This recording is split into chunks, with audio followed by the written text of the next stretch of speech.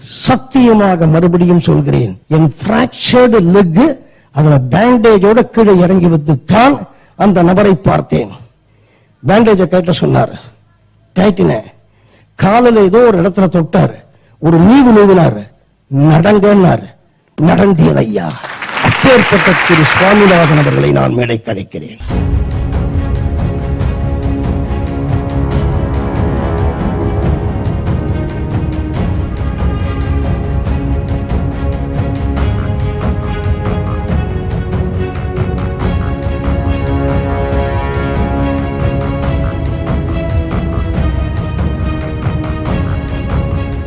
வணக்கம் சுகமே சூழ்க. நம்முடைய இன்றைய பதிவில் நம்ம கழுத்து வலி எப்படி சரியாகிறது சரியாக்கி கொள்வது சுயமாக தனக்குத்தானே கழுத்து வலியை சரி செய்து கொள்வது எப்படி அப்படிங்கிற விஷயத்தை கொஞ்சம் பார்ப்போம். அதாவது கழுத்து வலி எதற்காக எதுக்காக வருது? கழுத்து எலும்பு தேய்மானம்னு மேலோட்டமாக சொல்லுவாங்க. அது எலும்பு தேய்மானம் இல்லை. ரெண்டு எலும்புக்கு இடையில் உள்ள டிஸ்க்கு கொஞ்சம் டீஜெனரேட் ஆகிரும் அதோடைய தேய்மானம் தான். அது அதனால் மேலே உள்ள எலும்பு கீழே உள்ள அந்த டிஸ்கை அழுத்தி டிஸ்கை ப்ரலாப்ஸ் பண்ணி விட்டுரும். அதனால் கழுத்து வலி வரும். சிலர் வந்துட்டு ஒரு மாதிரி நல்ல ஆழ்ந்த தூக்கத்தில் ஒரே பக்கம் தலையை வச்சு ஒரு மாதிரி மடித்து வச்சு படுத்துருவாங்க. அவங்களுக்கு பொழுது விழிஞ்சால் தான் தெரியும் கழுத்து பிசகிடுச்சு அப்படின்னு சொல்லி. காலைல பார்த்துட்டு கழுத்து ரொம்ப வலிக்கும் அவங்களுக்கு. சில பேர் என்ன செய்வாங்கன்னா தலையணையை கொஞ்சம் உயரமாக வச்சு ஒரு மாதிரி மடித்து படுத்துருவாங்க அவங்களுக்கு அப்போ ஒன்றும் தெரியாது. அடுத்த நாள் காலையில் கழுத்து திரும்ப முடியாத ஒரு சூழ்நிலை உண்டாகும். இதெல்லாம் என்னென்னா கழுத்தில் ஏற்பட்டிருக்கக்கூடிய சிறு பாதிப்பு. இப்போ கழுத்து வலி வந்துடுச்சுன்னா அதை சரி செய்து கொள்வது.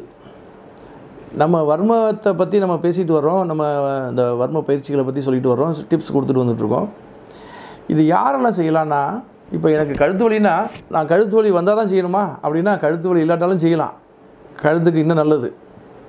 இப்படி எந்த வியாதிக்கு நான் வர்ம புள்ளிகளை இயக்க எந்த வர்ம புள்ளிகளை இயக்க சொல்கிறேனோ அது வியாதி உள்ளவர்கள் செய்தால் பாதிப்பு உள்ளவர்கள் செய்தால் பாதிப்பு குணமாகும். பாதிப்பு இல்லை அப்படின்னா கூட அதை செய்து வந்தால் அந்த பர்டிகுலர் அதான் கழுத்துன்னு வச்சுக்கோங்களேன் கழுத்து பலமாகும்.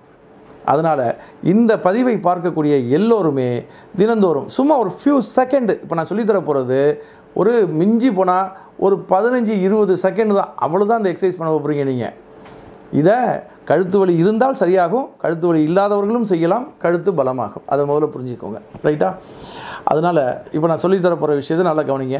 கவனித்து பாருங்கள் ஆள்காட்டி விரல் தெரியுதா? இதில் நடுவில் இந்த ரேகைக்கும் இந்த ரேகைக்கும் நடுவில் உள்ள இந்த பகுதியை கட்டை விரலில் வச்சு அழுத்தணும். அதே மாதிரி ரெண்டு விரல்லையும் அப்படி அப்படி வச்சுட்டு விரலை க- கையை நேராக ஸ்ட்ரைட்டாக நீட்டிடணும். நேராக நீட்டிட்டு இப்போ கட்டை விரலை நல்லா அழுத்தம் கொடுக்கணும். அழுத்தம் இப்போ இப்போ வந்துட்டு என்னன்னாக்க இப்போ நீங்கள் தூங்கி எழுந்திரிச்சிட்டிங்க காலைல எழுந்த உடனேயே அஹ், கழுத்து வலிக்கிற மாதிரி இருக்குது அப்படின்னா இதை செஞ்சீங்கன்னா உடனே ரிலாக்ஸ் ஆகிடும் சராசரி மனிதர்கள் கழுத்து வலி இல்லாதவங்க கூட காலையில் ரெஸ்ட் ரூம் போயிட்டு வந்துட்டு இதை வந்துட்டு தினந்தோறும் ஒரு மூணு வாட்டி அதாவது ஒரு பதினஞ்சு இருபது நிமிஷம் ஒரு இருபது செகண்டு இதை செஞ்சிட்டிங்கன்னா கழுத்து மிகவும் பலமாகிரும்னு சொல்லி நான் சொல்லியிருக்கேன். இதை செய்யுங்க. ரைட்டா இப்போது இந்த பகுதியில் இந்த ரெண்டு ரேகைக்கும் இடையில் கட்டவரில் வச்சு அழுத்துங்க. இந்த விரல்லையும் அதே போல் செய்யுங்க. கையை ஸ்ட்ரைட்டாக நீட்டுங்க. கட்டவரலை நல்லா அழுத்துங்க. அழுத்துட்டிங்களா? இப்போது இதே பொசிஷனில் வச்சு கழுத்தை மெதுவாக இடதுபுறமும் நல்லா திருப்பி முடிஞ்ச வரைக்கும் திருப்பி திரும்ப மெதுவாக இந்த இந்த ப்ரெஷர் அப்படியே இருக்கணும். ஸ்ட்ரைட்னஸும் அப்படியே இருக்கணும். இப்போது மெதுவாக தலையை கொண்டு வாங்க. நேராக வந்துட்டிங்களா? இப்போ மீண்டும் அப்படியே ரைட்டில் போங்க. இந்த ஸ்டிஃப்னஸ் அப்படியே இருக்கணும். கழுத்து மட்டும் நேராக ரைட் சைடில் திரும்புது. முடிஞ்ச வரைக்கும் திரும்பிட்டு திரும்ப ஸ்ட்ரைட்டாக வாங்க. இது ஒரு கவுண்டிங் இப்படி இதே பொசிஷனில் கையை லூஸ் பண்ணாமல் நல்ல கட்டவரில் வச்சு நல்ல அழுத்தம் குறையாமல் மூன்று முறை இடமும் வளமும் திரும்பி வந்து நேராக நின்றுட்டிங்கனாக்கா கழுத்து வலி அப்பொழுதே காணாமல் போய்விடும்.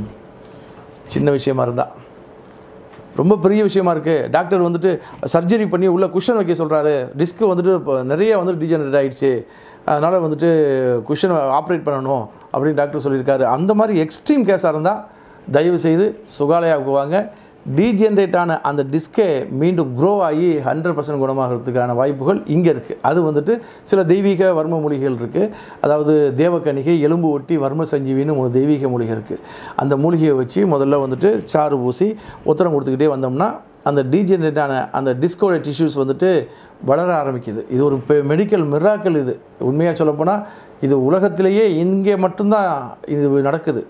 கழுத்திலிருந்து இடுப்பு வரைக்கும் உள்ள முப்பத்தி மூணு எலும்புகளில் இடையிடையே இருக்கக்கூடிய அந்த டிஸ்க்கு டீஜென்ரேட் ஆகி ப்ரொலாப்ஸ் ஆகிடும் நகர்ந்துடும் டிஸ்லோகேட் ஆகிடும் தேஞ்சு போயிருக்கும். ஸோ அதே மாதிரி இடுப்புலையும் அது போல் நடக்கும். அந்த மாதிரி டிஸ்க்கு ரொம்ப டேமேஜ் ஆகிடுச்சுன்னா அதுக்கு டாக்டர் சர்ஜரி பண்ணணும்னு சொன்னாக்க அந்த வேலையை நீங்கள் செய்ய வேண்டாம் சர்ஜரி வேண்டாம் இங்கே வாங்க நம்ம ஹண்ட்ரட் பர்சன்ட் அதை வளர்த்து விட்டு ஹண்ட்ரட் பர்சன்ட் குணமாக்கிடுவோம். ஒரு முறை குணமானதுக்கு அப்புறம் திரும்ப உங்கள் லைஃப் டைமில் இந்த கோளாறு வராதுங்கிற கேரண்டியோட இப்போது சிறிய அளவிலான கழுத்து வலியும் கழுத்து பலம் பெறவும் நீங்கள் இந்த எக்ஸசைஸை மட்டும் தினந்தோறும் செஞ்சுக்கிட்டு வாங்க. கட்ட விரலை மீண்டும் சொல்கிறேன் இங்கே வச்சுக்கோங்க இறுக்கி பிடிச்சிக்கோங்க. நல்லா கையை ஸ்ட்ரைட்டாக வச்சுக்கோங்க. இடமும் வளமும் போயிட்டு நேராக வாங்க. ஒரு கவுண்டிங் இப்படி மூணு கவுண்டிங் செய்யுங்க போதும். காலையில் ஒரு வாட்டி ஈவினிங் ஒரு வாட்டி. ஈவினிங் முடிஞ்சால் செய்யலாம் இல்லாட்டா மறந்துட்டா கூட விட்டுறலாம். காலையில் மஸ்ட்டு செஞ்சுட்டே வாங்க. தொடர்ச்சியாக செஞ்சுட்டு வாங்க. கழுத்து பலம் பெறும். சரியா? இன்றைய பதிவோடு இதோ இந்த நல்ல தகவலோடு இன்றைய பதிவை நிறைவு செய்கிறேன். நாளை மீண்டும் சந்திப்போம். சுகமே சொல்க நன்றி வணக்கம்.